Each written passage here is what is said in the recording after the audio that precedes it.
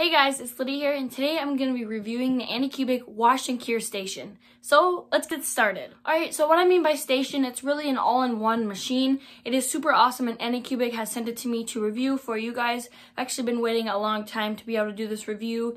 I just had to wait until there was uh, some products available for them to send me to show you guys how they work. So basically, this machine it uh, takes away the hassle of having to use extra containers to put um, IPA or alcohol in to clean your prints. And then um, instead of having to set up a separate cure station with your own um, box with tinfoil or a rotating um, thing that you put your part on, this is an all-in-one machine where it cleans it and then you can cure it all in one. So it's super cool. I'm to do the unboxing for you guys here. I'm to clean up a little bit of my area uh, where my resin printers are, and then we can get right into the review. I also want to say that I'm sorry that I haven't been posting for a while.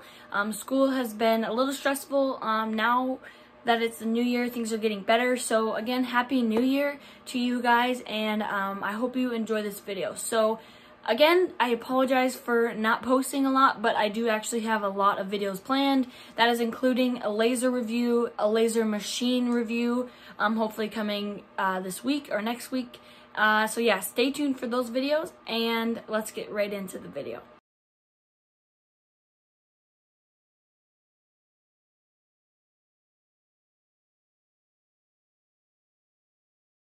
Alright, so I obviously moved it so you guys could see it a little bit better. But this is the machine, and I first off want to say that this machine definitely was packaged very, very well. There was a lot of padding, and so once you receive your machine, uh, it's definitely going to be safe and in good condition. So let's talk about what we get in uh, the box. So the first thing you saw me take out was uh, this manual. So it's just the wash and cure machine and um, it just basically tells you what to do and how to use the machine but I will go over that with you guys here. Um, and uh, it just lets you know what the model is and all the details on it. Next what we have is this bin here. So this is what you put your um, alcohol in to wash your machine. Um, as you can see you have a, a little basket here and this basket is for if you want to take your part off of um, your uh, build plate. But if you don't want to take it off your build plate, there is a stand here. It is actually in the packaging. And it uh, clips on to this up here. And it's super easy to install. So um, to install it, obviously check on the manual. And I believe it's like the first thing it tells you to do. So um, just checking out again here is where you can put the part in it or again where you can uh, connect it to um, your build plate. So you can either use this black part for your platform holder. I'm not going to do that because this part works just fine. So again, it just slides in the top here, up in this slot and then you use your, you tighten down your build plate on there, and I'll show you guys in a second once we use it.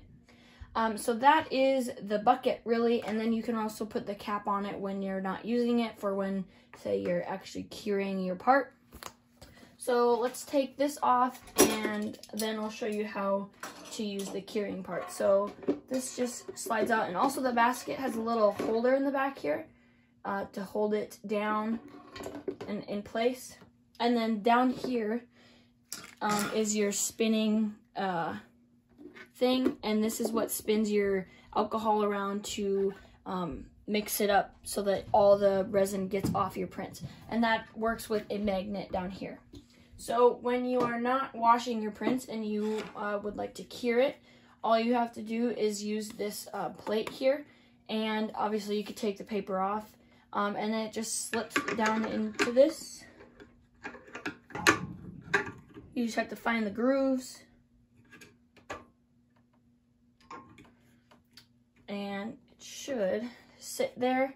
Um, and then uh, that is the turning table. So you set your print on that. And then there's LED lights here. And those turn on and those are your blue lights which cures your actual part. So again, you wash it and then you remove the bucket and then you put your part on here and cure it. And while this is happening, you have your uh, clear uh, yellow plastic cover in here. So to keep in all the light. And just like that, you uh, cure your print. So let's plug this in and power it on. Alright, so my print is done here, and I printed it on the Creality because I wanted to use the flexible build plate I have set up on it to make things easier for taking the actual part off. So if you have the Anycubic, it will work the same way with the um, holder for the build plate. But also don't forget to put on some rubber gloves to protect your hand from the remnants. So I'm going to open that up, but before I put my, or before I take that off, I want to set up the wash machine and fill it up with alcohol. So just take your bucket, you can leave everything in here. I'm actually going to take this out for right now. And I'm going to dump my rubbing alcohol into here. This is just the bucket I had before. I should have probably cleaned it out, but that's okay. Um, and then I'm going to fill it up the rest of the way. So I have about 1500 milliliters of alcohol in there. Um, I could add this alcohol. Now I'm gonna add this also in there, but it is old and it has some particles in it. So I'm going to use a filter here to filter that out.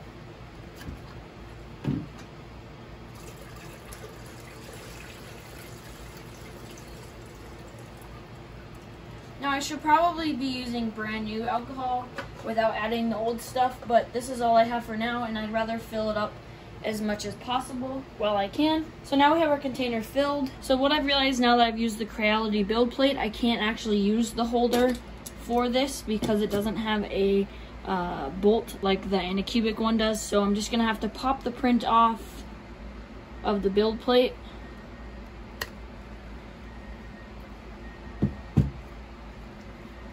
With my flexible build plate and now I can put this in the um, container.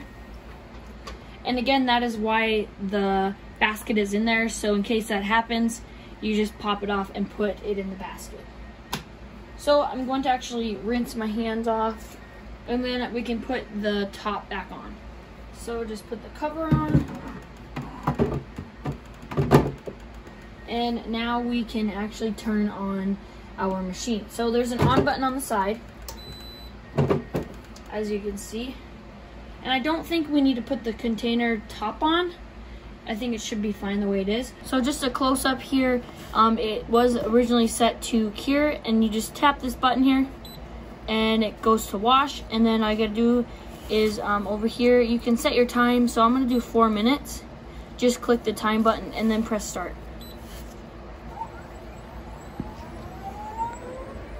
And you can hear it's starting to spin and it is actually, as you can see, washing your print. Alright, so it has finished washing. Now I want to show you guys something really cool. So I'm going to press uh, start again. And now one thing I want to also mention is it's reasonably quiet. You can kind of hear it speeding up.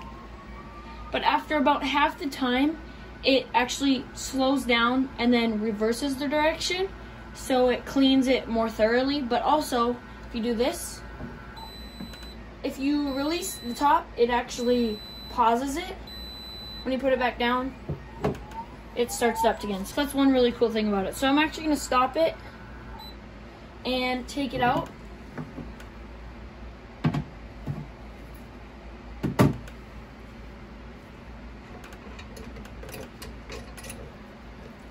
And just like that, I can use the, um, this guy. Now one thing I just have actually realized was um, using this in there while um, spinning it, it kind of bent it here, so I'm not sure if uh, it's supposed to do that, but it actually has really cleaned the part. So now I'm going to remove the bucket. And now I'm going to add that back in there and then I'm going to add the turntable. There we go.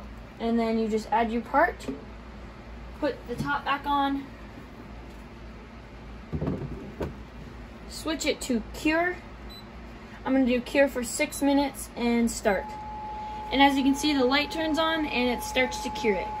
So we're gonna let that cure and then we can check the final print out when it's done. All right, so the print is finished and uh, it cured for, again, six minutes, which you can vary um, depending on what kind of print you have and how big it is.